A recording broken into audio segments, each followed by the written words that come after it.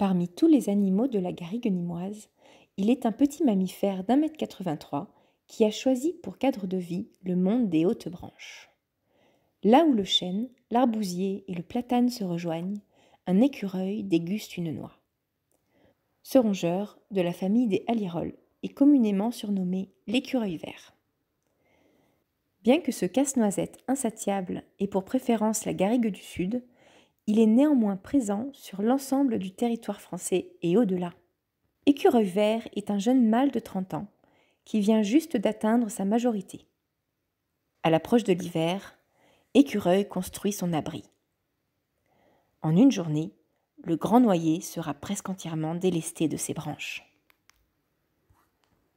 Écureuil vert se nourrit de bonbons, de bière, de saucissons, de pizza, de café, d'aligot, qu'il délaisse régulièrement pour se désaltérer abondamment et par tout moyen. Il aime garder ses petites habitudes et conserve son butin dans divers endroits. Le plus difficile sera de les retrouver l'hiver venu. À l'arrivée du printemps, quelque chose a changé.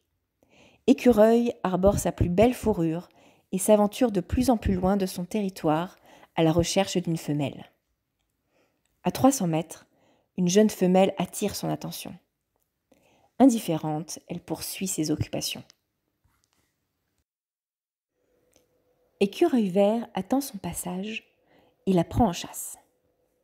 Cette course va durer plus de 4 heures. Il ne quitte plus la femelle et manifeste son excitation amoureuse par des claquements de langue et des balancements horizontaux de son panache. Après une saison des amours mouvementés, Écureuil vert se repose au bord de l'étang. Mais l'écureuil vert est avant tout un animal social qui aime s'amuser avec ses copains.